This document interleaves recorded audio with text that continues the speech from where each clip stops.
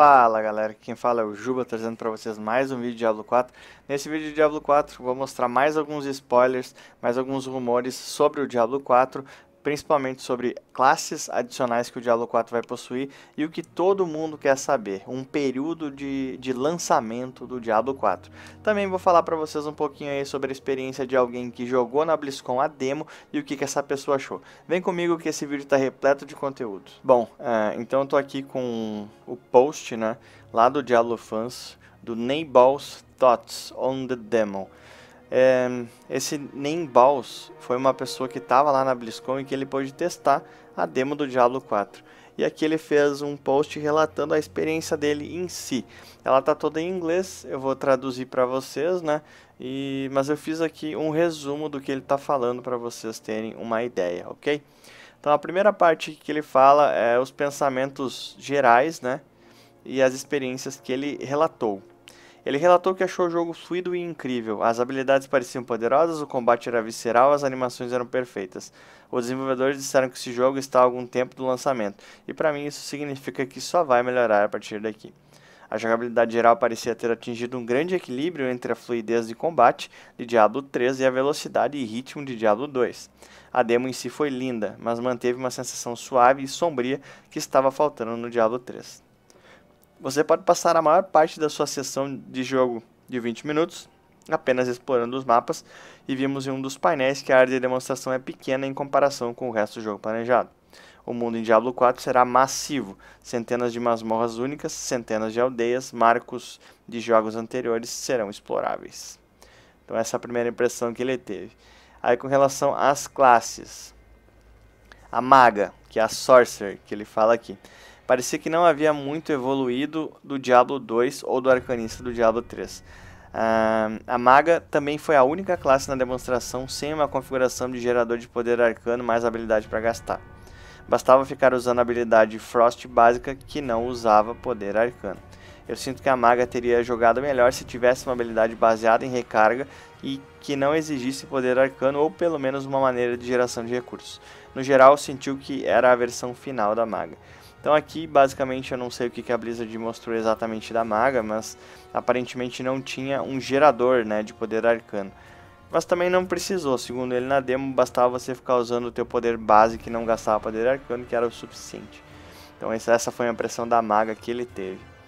Chegamos aqui no Bárbaro. O Bárbaro passou por algumas mudanças em relação ao Diablo 3. No Diablo 4, o Bárbaro tem acesso a quatro slots de armas separados que permite vincular a diferentes habilidades. Gostou bastante da jogabilidade de Bárbaro. O Bárbaro tem aquele poder arsenal que eu comento em outro vídeo também, onde ele pode usar até quatro tipos de arma e ele alterna com uma habilidade. Ele pode usar duas armas de uma mão, aí ele vai para outra habilidade usa uma de, de duas mãos e volta e assim sucessivamente. Ele relata que isso foi presente. Um, que mais? Novas mecânicas, uh, ruptura, por exemplo, era uma habilidade baseada no tempo de recarga que causava um dano maciço ao longo de alguns segundos. Mas se matasse um inimigo, o tempo de recarga era redefinido instantaneamente. Então interessante, ele está comentando que tem aqui uma skill que a tradução do, uh, aqui seria ruptura do Google, né? Não sei como é que vai ser a tradução final, mas ele relata que é interessante essa nova mecânica. Chegamos ao druida. É, para ele, o melhor gameplay foi o de Druida. As animações de mudança de forma foram incrivelmente suaves e exibiram mar maravilhosamente as possibilidades do novo mecanismo que foi construído desde o início para o Diablo 4. O Druida realmente tinha esse ahá, momento em que você conseguiu uma habilidade de Balder em um Elite que os empurrou para fora do combate e deu espaço para você respirar para atacar, com outros, para atacar outros inimigos ao seu redor. O druida também teve o melhor item lendário da demo que atingiu um inimigo aleatório. É, quando ele atingiu um inimigo aleatório com um raio, toda vez que você mudou de forma e você pode mudar muito de forma. Então ele falou que o druida pegou o melhor item lendário na, na jogabilidade dele na demo. Ele gostou bastante. Aqui ele menciona também o poder do druida do cataclisma, né? Que é aquele que ele lança tornados e enfim, bastante interessante. Ele também fala dos boss, né? Principalmente da Achava. É, então a Achava era um chefe verdadeiramente maciço. A câmera teve que puxar para mostrar o alcance do encontro. Esse encontro foi parecido com o chefe de ataque do WoW, com ataques telegrafados que eram absolutamente devastadores se você não esquivasse ou se você se posicionasse ou se você não se posicionasse adequadamente. também exigiu um novo, uma nova mecânica chamada Stagger. Eu comento no outro vídeo que o Stagger ele é representado por uma segunda barra sobre a saúde do chefe.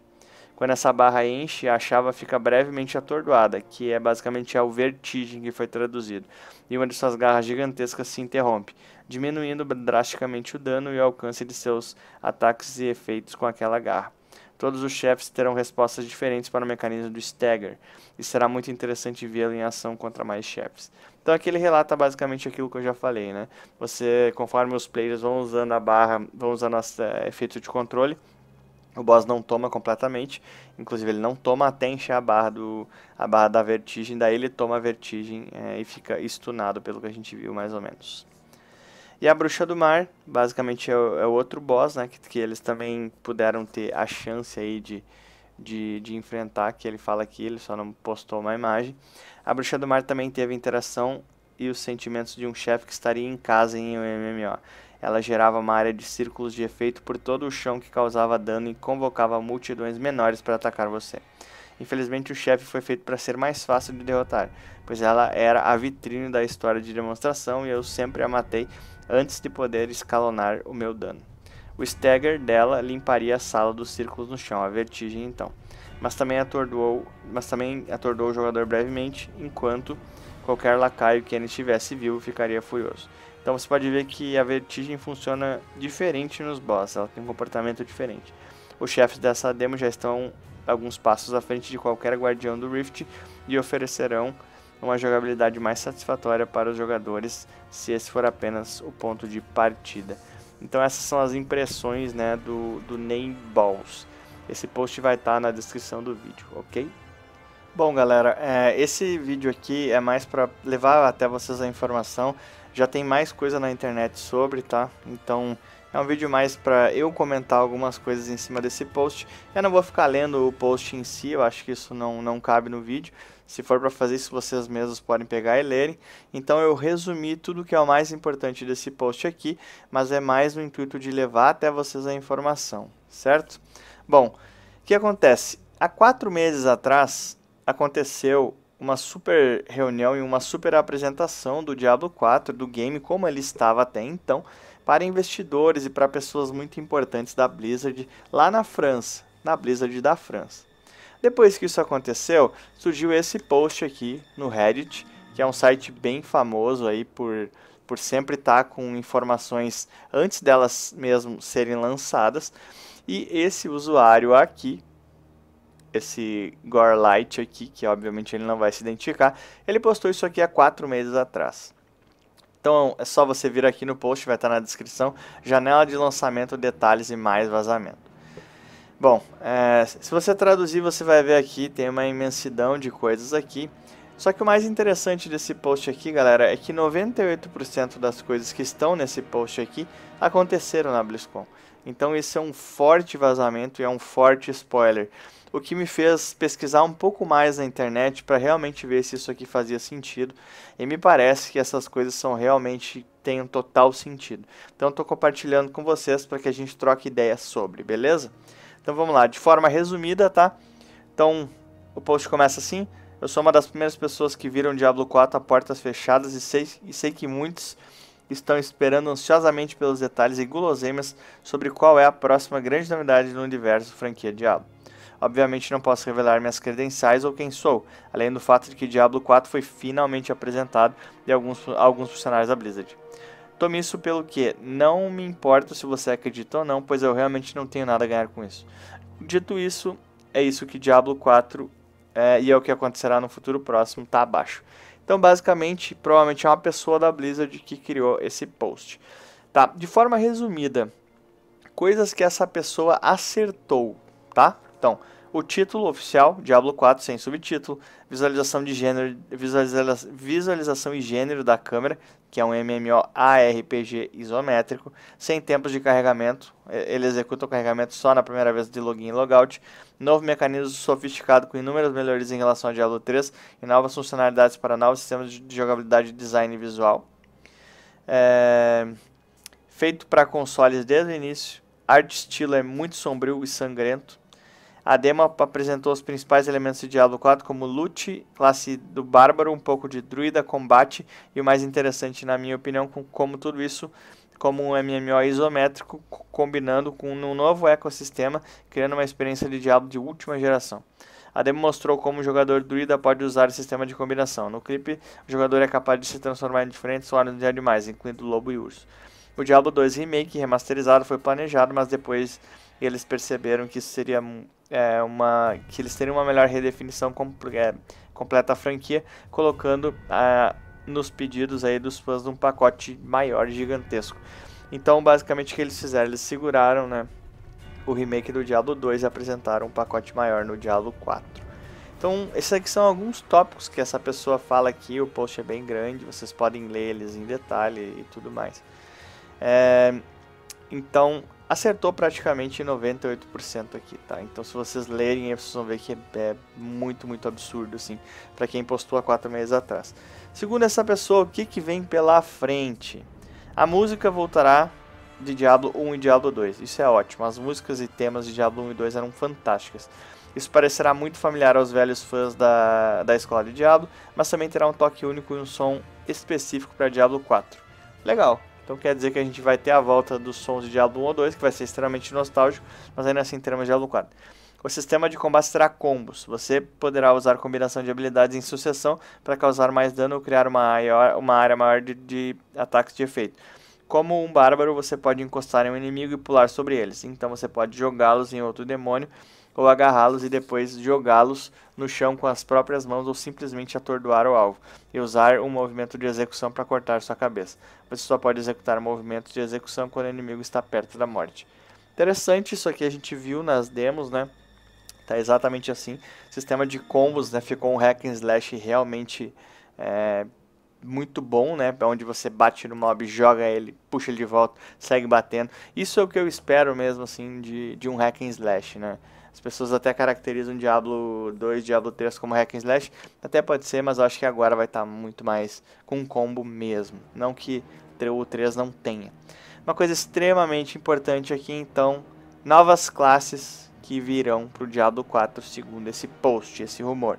Paladino, Bárbaro, Feiticeiro, Amazonas e Druida.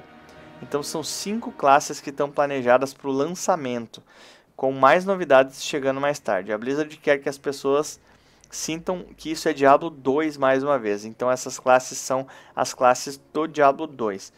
É, mas em uma era completamente nova da franquia. A Blizzard também estava debatendo se deveria incluir a classe Druida ou Necromante no lançamento. A Blizzard decidiu colocar o Druida para o lançamento do Diablo 4 e o Necromante para mais tarde, por exemplo, numa expansão, já que o Necromante já havia sido lançado no Diablo 3. Então aqui, caras, eles estão trazendo exatamente pra gente as classes. Essa pessoa está trazendo e dizendo que vai ter Paladino, Bárbaro, Feiticeiro, Amazonas e Druida. Excelente, são classes incríveis do Diablo 2. Quem jogou vai lembrar. Diablo 4 será uma nova era para Diablo e será um jogo como um serviço. Novos pets de conteúdo gratuito serão lançados, adicionando mudanças na qualidade de vida, novas adições, itens e assim por diante. Expansões pagas também são possíveis, mas agora ainda está indeciso e a Blizzard não sabe até o lançamento do jogo e até que eles vejam se foi bem sucedido ou não. Eles não querem anunciar nada referente a conteúdo pago até que tenham 100% de certeza de seus planos e do que, e do que adicionarão no próximo no pós-lançamento. Então, beleza, isso daqui tá, a Blizzard deixou bem claro que esse, esse game vai ter inúmeras é, adições de conteúdo, enfim. Isso é ótimo, porque significa que o game vai ter uma manutenção grande. O Diablo 3 já está bem melhor nesse sentido, e o Diablo 4 eu, eu não esperava menos. E o que todo mundo está interessado em saber. Quando é que lança esse jogo que está todo mundo num hype absurdo e eu, eu não sou diferente? O lançamento está sendo debatido entre o final de 2020 ou o início de 2021 dependendo de como as coisas vão, mas a partir de agora permanece que o início de 2021 é mais provável. Chegará ao, ao PC PlayStation 5 e ao projeto Scarlet. Então, temos teremos o Diablo aí próximo de 2020 ou 2021, galera. Eu acho isso sensacional e eu espero realmente que isso aconteça.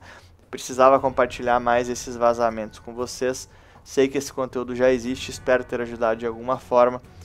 E para confirmar isso que eu falei aí da data de lançamento, tem mais um detalhe aí que está rolando pela internet, que é num site aqui, é, um site francês e tal, onde você tem, desculpa, francês não, é da Bélgica, onde você já tem uma pré-venda do Diablo 4. Pode ver aqui, ó, e ele tá, ó, para 31 de dezembro de 2020. Isso aqui é mais um indício aí de que é, essa informação que a gente tem ali desse post seja realmente bem quente. Então eu vou deixar na descrição também para vocês isso aqui, tá? Mas isso aqui é mais um indício aí de que talvez realmente vá acontecer entre 2020 e 2021. Se você tá gostando desse vídeo, dá um like pra mim, é muito importante pra mim. Se inscreve no canal, isso me ajuda muito, ajuda toda a comunidade BR, fortalece a nossa informação e a nossa comunidade. Eu normalmente faço lives aí que é sexta e sábado, você tá mega convidado, normalmente são lives de Diablo 3. Então, vem pra live, vem comigo, é muito divertido, eu agradeço a vocês aí de coração. Então, fica aí o meu pedido do like, da inscrição, é muito importante, você recebe muito, muito conteúdo, eu tô sempre postando conteúdo. E vamos nos ajudar, galera, vamos fazer com que a nossa comunidade ela deslanche cada vez mais, ok? Então, sintam-se mega convidados, apareçam nas lives, é muito interessante. Agradeço aí de coração, galera, a todos vocês que têm feito o canal crescer, que têm me ajudado. E acima de tudo, aos comentários construtivos que vocês fazem. Isso é muito importante para mim, é a única forma que eu tenho para saber como que eu posso melhorar. Estou 100% disponível, galera. Deixa um comentário para mim, eu leio todos os comentários, eu respondo tudo, respeito as opiniões. E era isso. Eu sou o Juba, vou ficando por aqui. Até um próximo vídeo ou uma live. Falou!